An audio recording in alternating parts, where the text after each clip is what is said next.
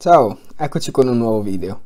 Oggi andremo a trattare, sempre con questa trattazione un po' digitale, in cui eh, scrivo sull'iPad, sostanzialmente non mi faccio inquadrare, in, non mi inquadro in faccia, ma comunque così puoi seguire più tranquillamente il discorso che faccio, visto che servono comunque disegni o formule, quindi penso sia più comodo per tutti così. Oggi andiamo a trattare l'argomento dei sistemi miltoniani sono una particolare classe di sistemi dinamici che eh, si vedono molto spesso nel campo della fisica matematica o nel campo della meccanica classica nel momento in cui la si va a trattare in maniera un po' più eh, approfondita, diciamo.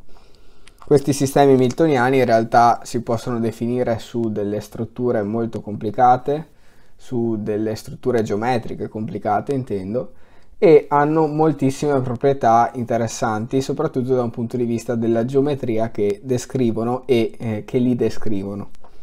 Oggi però andremo a limitarci a descriverli comunque in una situazione interessante che è quella del, eh, dello spazio euclideo. Quindi andiamo a vedere, a lavorare su R alla 2n. Infatti una proprietà fondamentale dei sistemi miltoniani è che sono definiti su spazi a dimensione pari. Il perché questo sia vero non è proprio così immediato da vedere, ma comunque magari potremmo fare vedere questo risultato in un'altra situazione, in un altro video, se può interessarti. Comunque per il momento, se non hai mai visto questo, questo argomento, prendi un po' per buono il fatto che si lavora su uno spazio a dimensione pari, R alla 2n con n maggiore o uguale di 1 e lo descriviamo con delle coordinate q1 qn più 1 pn questa è una scelta arbitraria di lettere, però in realtà nel campo della fisica soprattutto queste hanno anche un loro significato fisico che in realtà nel campo della teoria hamiltoniana va un po' a perdersi. Infatti in linea proprio teorica e di denominazione le variabili QI stanno per le coordinate sullo spazio appunto di configurazione di un sistema dinamico, nel caso si riferisca a proprio un corpo rigido, delle particelle comunque, mentre Pi, le P1 Pn stanno per i momenti coniugati associati a queste variabili qui. In realtà nel campo della teoria hamiltoniana, differentemente da quella lagrangiana per esempio, il significato fisico di momento e di coordinata va un po' a perdersi. E questo semplicemente perché come vedremo i sistemi miltoniani possono essere preservati comunque nella loro natura anche attraverso cambi di coordinate abbastanza generali. E si può definire un cambio di coordinate molto semplice che vedremo dopo che preserva questa natura di sistema miltoniano ma che non fa altro che a meno di un segno scambiare la piccola q e la q con la p. E quindi siccome il sistema descritto è comunque lo stesso alla fine e quello che facciamo non è altro che scambiare P e Q, si vede che è abbastanza irrilevante il significato di momento e di coordinata in questa situazione, in questo frangente, diciamo. Ma andiamo ora a definire cosa si intende per sistema hamiltoniano. Beh, eh, questo è un sistema dinamico che viene definito da una funzione scalare h che va da u da w ad r. Questa funzione si dice hamiltoniana, ok?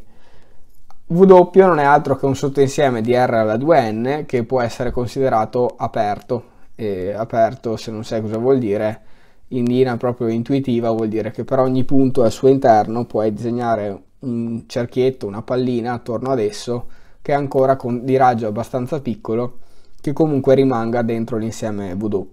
Questo è importante per definire non solo delle coordinate che eh, chiamiamo appunto P1 Pn, Q1 Qn, ma anche per poter calcolare le derivate rispetto a tutte le variabili, ovvero rispetto a tutte le direzioni canoniche del, dello spazio euclideo, perché così siamo certi che essendo la derivata definita come al solito come limite del rapporto incrementale, ma essendo la derivata di una funzione definita eh, su più variabili, dobbiamo andare a avvicinarci diciamo al punto in cui calcoliamo la derivata da più direzioni e quindi per non avere problemi di uscire dall'insieme in cui è definito il problema, il sistema, dobbiamo prendere l'insieme aperto così al limite comunque staremo dentro a W. Comunque questa è una cosa un po' più tecnica ma non serve per andare avanti. e, e questo sistema dinamico è definito tramite le seguenti dif- equazioni differenziali che sono dette equazioni hamiltoniane. Dopo andremo a definire invece il sistema tramite un campo vettoriale come abbiamo già visto in un altro video che se non, non hai ancora visto ti consiglio di cercarlo, lo trovi o in generale sul canale come eh, cos'è un campo vettoriale ma anche più in particolare puoi cercare nella playlist in cui si trova già questo video del, del playlist sui sistemi dinamici e fisica matematica e c'è proprio questo video di cui ti parlo. E queste equazioni miltoniane hanno questa forma caratteristica, ovvero sono per ogni variabile p, quindi i che va da 1 a n, l'equazione associata è p punto, eh, quindi la derivata rispetto al tempo di p è uguale a meno la derivata rispetto a qi di h e, e qi è invece la derivata rispetto a pi di h.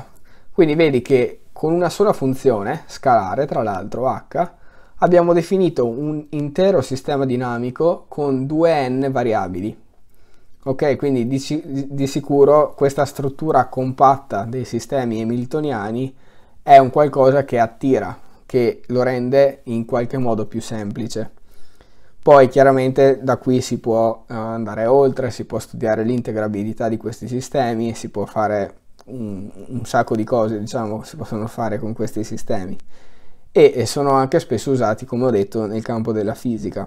E infatti in questo esempio che ti mostro adesso, il, la funzione miltoniana, che in questo caso è con n uguale a 1, infatti lavoriamo su R2, sul piano euclideo, può essere ricondotta in qualche modo alla dinamica dell'oscillatore armonico, della molla. E in questo caso, infatti, l'emiltoniana che otteniamo è di questa forma qui p quadro più q quadro fratto 2. Ora non sto qui a derivarti perché l'Hamiltoniana è di questa forma, se può interessarti ancora un video su questo argomento lasciami pure un commento che posso pensare qualcosa più avanti, che non è troppo complicata come, come cosa diciamo. Quindi com'è che ricaviamo le equazioni del sistema dinamico associato? Beh, eh, non è troppo complicato perché eh, basta prendere la derivata di h rispetto a q e rispetto a p come abbiamo visto qui. Ora i va da 1 a 1 perché n uguale a 1, quindi non è un problema. La, la, calcoliamo, è Q e P, sono Q e P, e quindi le equazioni miltoniane sono di questa forma. Ok? Giusto per puntualizzare il tutto, ci tengo a dire che in realtà questa può essere riscritta in una sola equazione, perché se noi scriviamo che Q è meno P punto dalla prima, ok? e sostituiamo Q nella seconda, otteniamo che meno P2 punti è uguale a P. E questa è in qualche... Eh, vabbè, ho fatto un casino. Questa è in qualche modo riconducibile all'equazione eh, dell'oscillatore armonico della molla con K costante elastica uguale a 1. Ok? Quindi se hai già visto questo argomento in fisica 1 o anche alle superiori, saprai che bene o male questa è la struttura dell'equazione dell'oscillatore armonico e quindi qualche legame è comunque intuibile anche se in un certo senso l'Hamiltoniana è un po' piovuta dal cielo ma comunque si può ricavare tranquillamente questa struttura hamiltoniana del sistema. Andiamo ora invece a un altro elemento fondamentale nel campo della teoria dei sistemi hamiltoniani. Infatti questi sono interessanti non solo perché sono descrivibili solo da una funzione scalare h, ma anche perché questa natura, questa peculiarità di struttura hamiltoniana dei sistemi si preserva anche se andiamo a fare delle trasformazioni di coordinate, dei cambi di variabile che non sono così, così restrittivi dopo tutto. Adesso infatti andrò a definire una classe di trasformazioni che è molto ampia e non andremo ad addentrarci troppo nei dettagli, ma ancora se può interessarti fammelo sapere che comunque è un argomento che mi interessa e sto studiando anche in, uh, modi più o meno diversi per la tesi, quindi di sicuro mi fa piacere parlarne così consolido un po' quello che vedo. E questi, questa classe di trasformazioni, appunto molto ampia, permette di preservare la natura hamiltoniana del sistema e quindi tutte le sue buone proprietà geometriche e di possibile facilità di integrare l'equazione. Ok? Ora, cos'è questa trasformazione? Beh, intanto prima di passare alle trasformazioni mi ero dimenticato di dirti una cosa, che è un, ancora una cosa un po' tecnica, ma comunque questo è il campo vettoriale hamiltoniano, x con h, che è definito come abbiamo visto nel video sui, sistemi, sui campi vettoriali, ovvero semplicemente prendendo le componenti che sono qua a destra nell'equazione, ok? Queste qua andiamo a metterle qua dentro e definiamo quindi il nostro campo vettoriale, ok? Ora questa, questo vettore qui può essere riscritto come nella forma matrice per vettore, ok? Matrice per vettore in questa forma qua, dove la matrice è 0, l'identità, meno l'identità 0, dove 0 è una matrice di eh, n, n, per n entrate tutte zeri e i di n è la matrice identità n per n, ok? Questa è anche una matrice che ha un nome e ha, genera diciamo un enorme campo di studi nella matematica, quello della geometria simplettica o dell'algebra lineare simplettica e quindi da qua si potrebbe spaziare molto, ma comunque non lo faremo. E, e sostanzialmente quello che andiamo a fare è moltiplicare questa matrice J per questo gradiente della funzione h e otteniamo, come vedi, quello che c'è qua a sinistra. ok? Ma questo è abbastanza irrilevante, vabbè, eh, per quello che andiamo a fare quantomeno, se no è molto utile, perché è proprio questa la struttura che è descritta e definita dal nostro sistema e permette di avere grandissime proprietà geometriche nel campo dei sistemi miltoniani, in particolare la conservazione delle aree, ma questo possiamo, di questo magari possiamo parlarne su Sire un'altra volta, perché comunque un argomento anche visivamente interessante di cui possiamo parlare.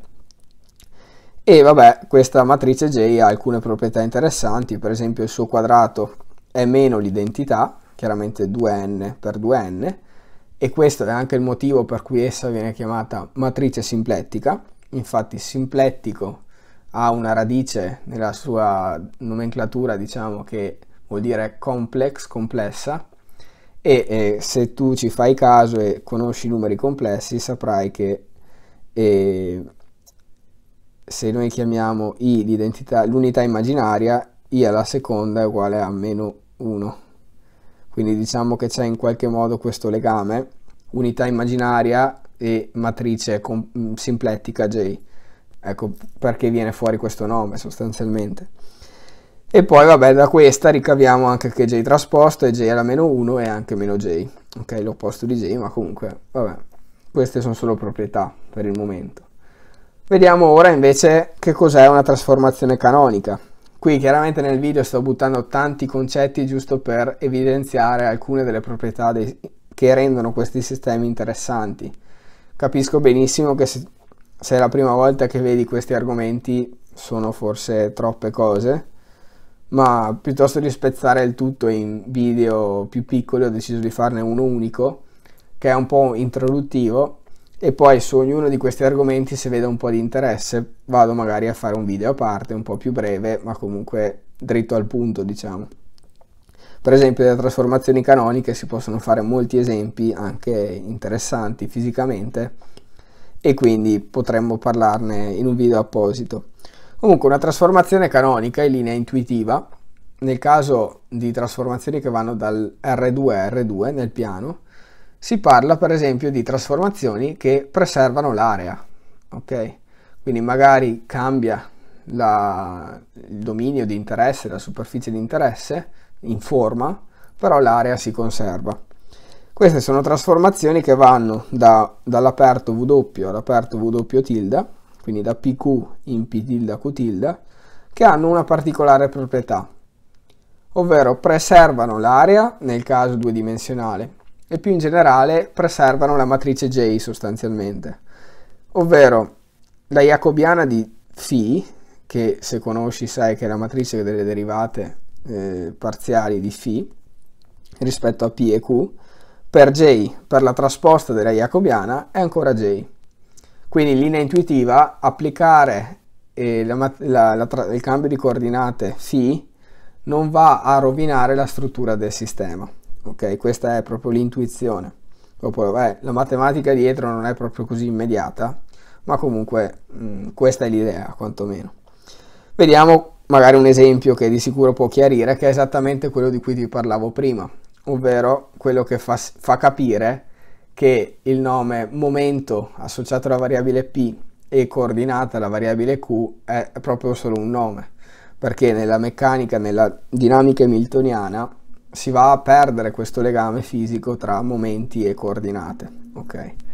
Infatti, se definiamo φ di pq, che è p tilde q tilde, e non è altro che un cambio, un'inversione di coordinate, quindi al posto di p mettiamo meno q, al posto di, p, di q mettiamo p, dove questo meno è proprio dovuto al meno che c'è nella matrice J, eh, è l'unico motivo per cui c'è sostanzialmente, abbiamo che la jacobiana è 0 meno 1, 1, 0, perché prima deriviamo rispetto a p e la derivata rispetto a p di meno q è 0, la derivata rispetto a q di meno q è meno 1 e sotto otteniamo 1, 0. Facciamo la trasposta e qua ho scritto semplicemente il prodotto e vediamo che la jacobiana di φ per j fa 1, 0, 0, 1 l'identità e poi se moltiplichiamo questa per 0, 1 meno 1, 0, che in realtà è esattamente la matrice simplettica J, otteniamo ancora J, come volevamo. E quindi questa è una trasformazione canonica. Ok? Ora, perché possono essere interessanti queste trasformazioni canoniche o simplettiche, come si vogliono chiamare?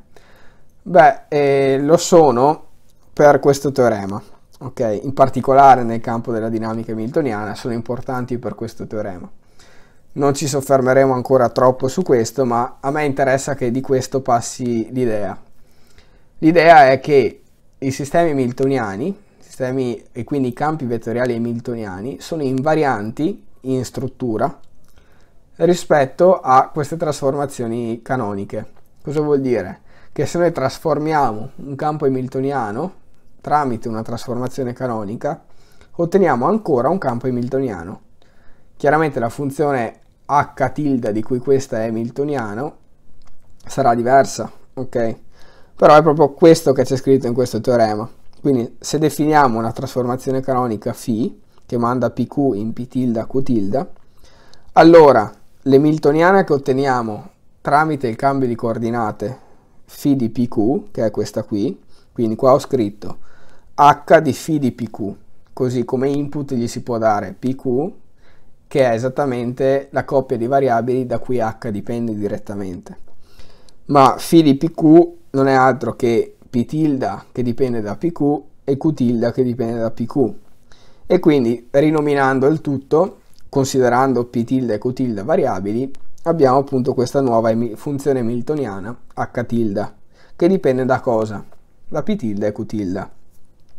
E la cosa interessante non è tanto questa trasformazione, che vabbè, mh, mm, ci dice poco, è che se noi troviamo eh, la, eh, il campo vettoriale che si ottiene applicando la trasformazione φ al campo hamiltoniano xh, che è questa qui, questa cosa in bianco che ho scritto, otteniamo un altro campo vettoriale, che è x, che ha una proprietà fondamentale, ovvero questo, adesso lo scrivo che mi ero dimenticato, questo è esattamente x di h tilde di p tilde q tilde.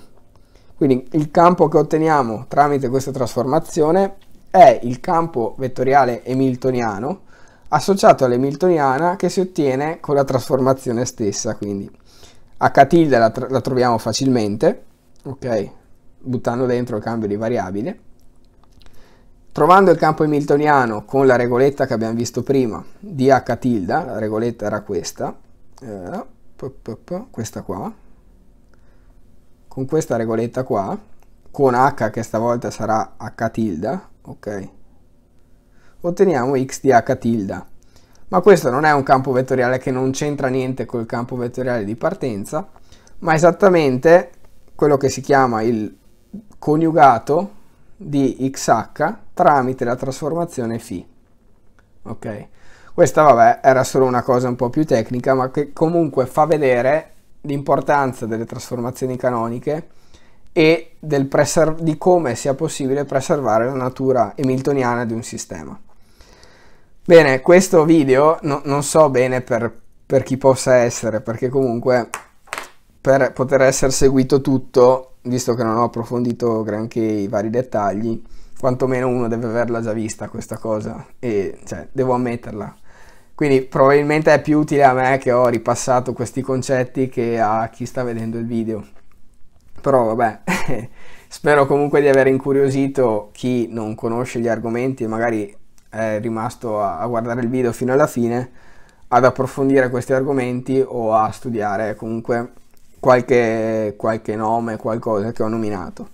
E se può interessarti una qualunque cosa che magari non hai capito o che vorresti capire meglio, siccome a me, cioè a me serve comunque approfondire queste cose, lasciami senza alcun problema un messaggio su Instagram o un commento al video dicendomi vorrei che tu approfondissi questo e io mh, mm, appena posso preparo un video su quello.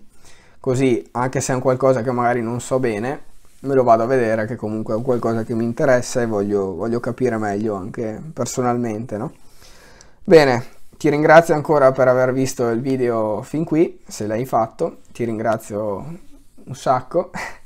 Iscriviti al canale se può farti piacere, condividi il video con i tuoi amici se pensi che possa piacergli e niente, ci vediamo al prossimo video.